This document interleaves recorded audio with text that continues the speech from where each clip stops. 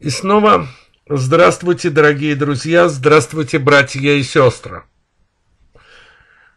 А в данном видео мы с вами поговорим по неволе о таком, в кавычках, блогере, писателе, поэте, тоже в кавычках, как Льве Валяне.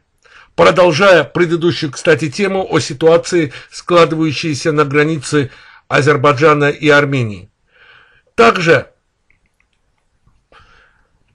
опираясь на те видеоролики, которые загрузил или не загрузил Лев Валян, мы обсудим, заденем темы, касающиеся такой темы, как Израиль, и поговорим о том, как Лев Валян, я вас, наверное, удивлю, вот в этом и заключается тот самый юмор, о котором, который я в названии уже указал, выступил против радикального армянства, об так называемом аристве. Ну что ж, обо всем поэтапно. Вот канал Льва Валяна, и прежде чем переходить к главным моменту касательно ситуации на границе Азербайджана и Армении, я хочу, чтобы вы как следует посмотрели на те видеоролики, которые он загружал за последнее время. Он загрузил видеоролик 9 января, поздравив своих зрителей с 9 мая, и загрузил видеоролик 7 часов назад, посвященный событиям на границе между Азербайджаном и Арменией. Вас ничего не смущает? Какая-то тема пропущена – тем более, эта тема должна быть важна для человека, который поздравлял всех с Великой Отечественной войной. Я говорю о событиях, которые сейчас происходят в Израиле. Он не выразил слова соболезнования ни Израилю, ни палестинскому народу, палестинцам. Не призвал их к миру, к урегулированию и так далее. Интересно знать почему. Но, видимо, нацистская составляющая все-таки даже в Льве Валяне преобладает. Ведь там гибнут люди. На Ближнем Востоке. Люди, которые, по мнению части армянства, имеют прямое отношение к самим армянам. Ведь армяне продолжают очень основательная часть говорить о том, что они потомки Ноя, но при этом не забывая почему-то говорить, что они к тому же являются арийцами. Не стыкуется, не так ли? Но давайте сейчас перейдемте с вами именно к тому видео, которое главным образом и заставило меня обратить в неочередной раз внимание на Льва Валяна.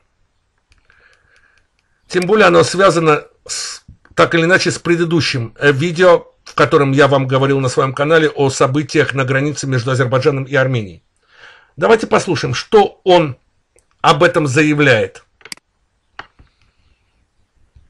Приступаем. Здравствуйте. Я удивлен и возмущен. Почему вы такого умного, талантливого, думающего и благородного народа, как армяне, такие тупые руководители. Благородство. А в чем благородство? Э, Лев Валян, учитывая, что он работал в прокуратуре в России, должен знать о количестве воров в законе среди армян, проживающих в России. И если взять пропорцию между количеством воров в законе и количеством народа, проживающего в России, наверное, коэффициент будет выше, чем в любом другом народе. Не так ли? Продолжаем. Почему? Еще 4 мая я предупреждал, что нужно готовиться к нападению со стороны Азербайджана. Подготовились? Если верить информации, которую я располагаю, азербайджанские войска проникли на территорию суверенной Армении и продвинулись на несколько километров. На языке военных это означает агрессия. Так, на несколько километров. Мол, Лев Валян готов ответить за свои слова в отношении продвижения азербайджанцев вглубь Армении. Может ли он предоставить карту, э, именно советскую карту, и показать, кто перешел ту грань, ту границу, которая была во время Советского Союза. Сможет? И почему он не установил данную карту в данном видео? Не показал ее. А ведь это очень важный момент. Кстати, готов ли ответить та самая в кавычках личность, которая дала данную информацию Льву Валяну? Готова ли она ответить за распространение лжи? Простой вопрос. В распространении дезинформации. И, и если да, то пускай он установит лицо, имя и фамилию данного человека в следующем своем видео. Кто это такой? Чтобы было с кого спрашивать. Давайте еще некоторое время прослушаем, затем перейдемте ко второму видео, в котором мы с вами как раз-таки перейдем к тому разделу, который я бы назвал бы юмором. Хочу знать, а как это называется на языке Никола Пашиняна, исполняющего обязанности премьера Армении и одновременно главнокомандующего вооруженными силами этой республики? А, значит, Лев Валян не знает, что такое демаркация границы? Так я ему объясню. Это проведение, восстановление границы между государствами в тех местах, в которых этой границы не было. По тем или иным причинам. Послушайте, мои родные армяне, что вообще происходит с нами? Что, кто-то уже решил сдать нашу родину? У нас что, самая большая территория? Так, о какой территории идет речь? Лев Валян, как гражданин России, должен знать, что такое Араратская область. Времен именно имперской России, царской России. Неужели он не знает? Как назывался Гюмри во времена царской России? И почему его так назвали? В честь кого? Это тоже интересный вопрос. Я даже не задаюсь вопросом в отношении того, как этот город, так называемый Гюмри, назывался во времена, когда э, существовало Ереванское ханство. Название было совершенно другое, даже не связанное с Россией, не так ли? Вопросов очень много. Ну, давайте перейдемте ко второй части. Как я и сказал, в этой части мы по неволе с вами заденем юмористические нотки. Сейчас некоторые спраш... спросят меня, при чем здесь День Победы, хотя это радостное поздравление, но при чем здесь День Победы и при чем здесь юмор? Почему в данном ролике я указал, что Лев Валян выступает против радикального армянства? Против фашистского армянства, нацистского армянства? Ответ крайне прост. Сейчас вы послушайте, как он негативно относится к понятию арийства. Давайте послушаем.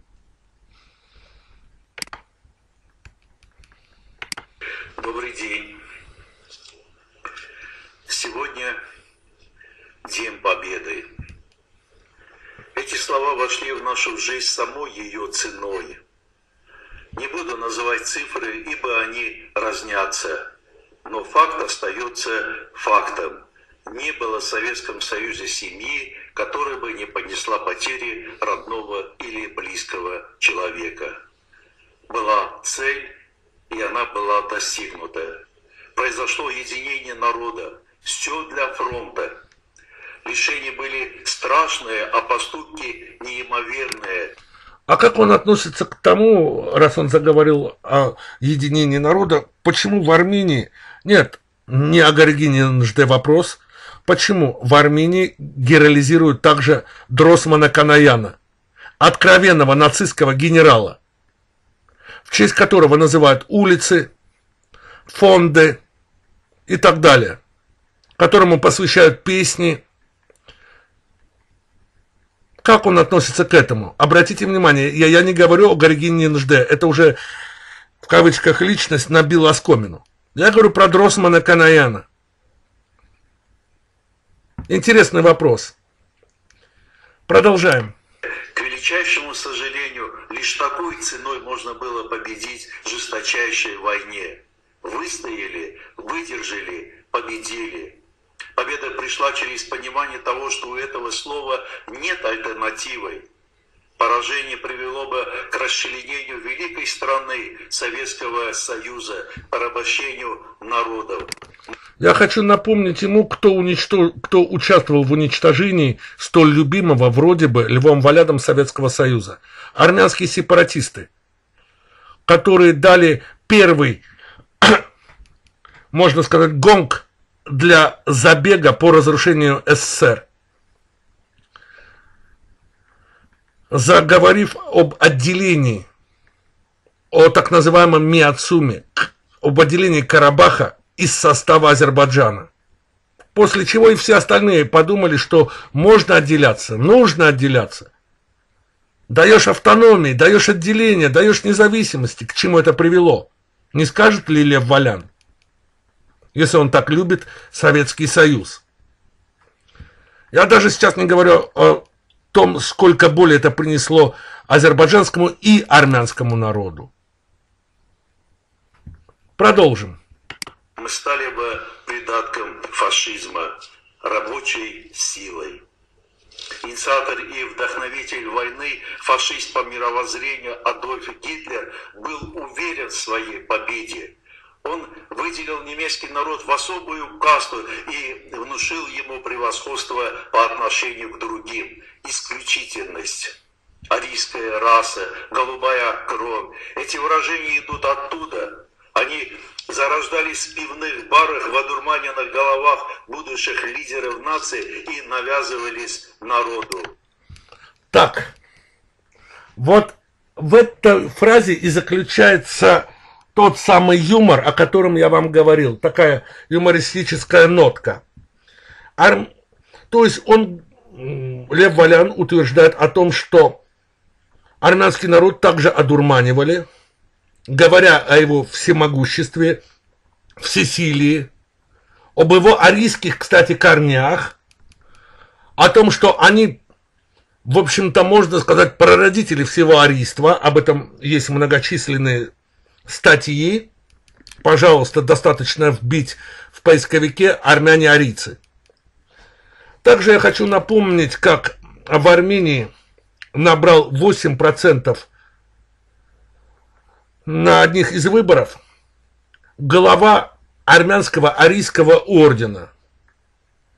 То есть, я так понимаю, и, наверное, могу утверждать из высказывания Льва Валяна, что он выступает против армянства?